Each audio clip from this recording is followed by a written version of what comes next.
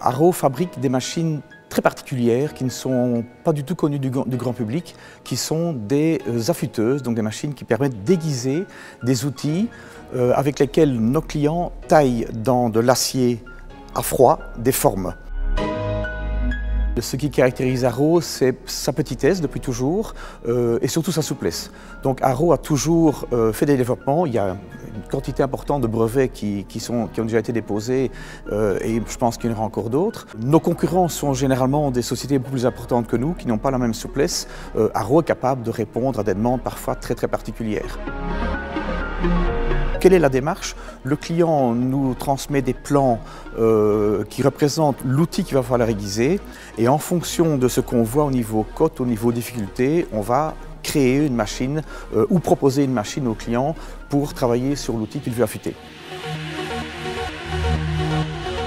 Nous sommes actuellement 8 personnes, donc c'est vraiment une, très petite entreprise. Euh, le chiffre d'affaires fluctue entre 600 000 et 800 000. Nous avons très peu de clients en Belgique. Euh, nous exportons dans le monde entier. Il y a déjà actuellement à peu près 3500 machines qui ont été vendues et exportées. L'export pour nous représente entre 90 et 95 de, de notre chiffre d'affaires.